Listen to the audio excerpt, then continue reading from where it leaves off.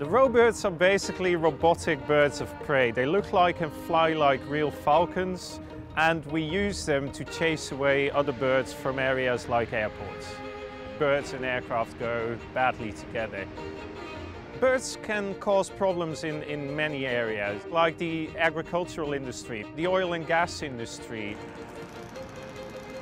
they're basically a drone, but not your everyday drone. The robots mimic the flight envelope of an actual bird. We had to create a flight computer that was capable of thinking like a bird.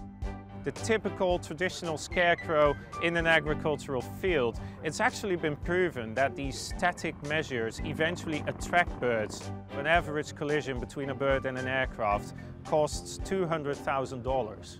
So even being able to prevent several of them during a year means that you are saving the aviation industry at one location millions of dollars. We've been operating the bird since around 2012 and we really see it working. At a relatively small blueberry farmer that we also operate, we increased his harvest by 15%, meaning he earns 45,000 euros more in revenues.